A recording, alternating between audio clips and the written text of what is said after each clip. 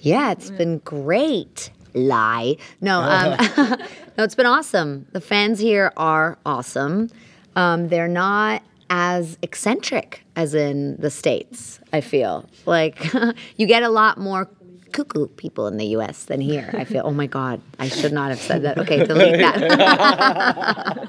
no, no, people have been like super polite and pleasant, is what I mean. And so it's been wonderful. Cosplay is a, a huge part of this convention. Have you seen any good ones? Any good Overwatch cosplays this weekend? Many. So Yeah, many. so many, Oh yeah. my God. I love there's- Zarian barbarian costume. Mm-hmm. Oh, That was- that yes. fun.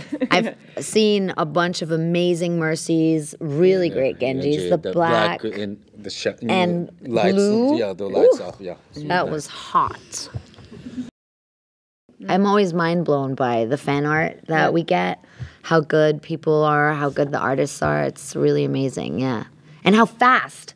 Yeah, When- of course. Um, I, I took a picture with Victoria Victoria Atkin and Patricia Summersett, uh, who do Zelda and Evie Fry, and like half an hour later, somebody had drawn fan art of the characters in the same poses, Yeah, and like amazing. really a really good drawing. So cool. I had a baby once, coming, parents with a baby and dressed as a Overwatch. It's a sign for the baby. Oh my So God, me bit- too. Did you have to sign the baby? Oh, the yeah, the baby. Me too. How old? My my baby was the baby I had to sign was two months old, and they laid it down on the table. Did they do oh, that? this was in a sling, Oh, but still. I freaked out. I was like, "Oh my god, my hands were shaking." But yeah, it's so funny. I'm sure you guys have gotten fans um, who come and want to meet us and say, "I actually don't play. I just like the characters. Yeah. I just like the game. You know, I just Yeah. like the stories, the comics, the cinematics. You know, I like what it's all about, the character design. But I don't actually play myself. So I've met a lot, yeah. There's a, and that's so cool. You know, that's really awesome because I think that they've just done such a great job to make it really a rich. I think it was like five years in development. yeah, So it's really well thought out, and each character has a serious background story. Yeah. It's not, you know, it's not just some kind of an action hero out of nothing.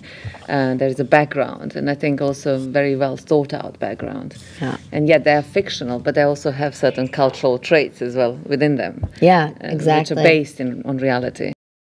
I think maybe there's also an aspect because there's a lot of stuff happening in the world right now, and and you know since we have the internet and everything, you everybody knows about it at all times, and there's an aspect of you know Overwatch trying to, you know, fix the world and and um, fight the dark forces that kind of maybe um, also has people connect to it nowadays where you feel like oh there's so much happening and you're so unsure of um, what you know the next news will be and somehow maybe you're look Yeah. people are looking for that overwatch you know spirit in their own communities But also, we are going through a big cultural change with the Yeah. robots.